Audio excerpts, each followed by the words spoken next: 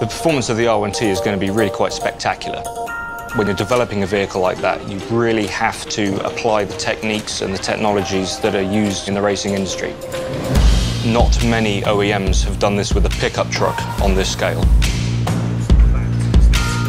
So it's this and these together. This is change three, close air curtain.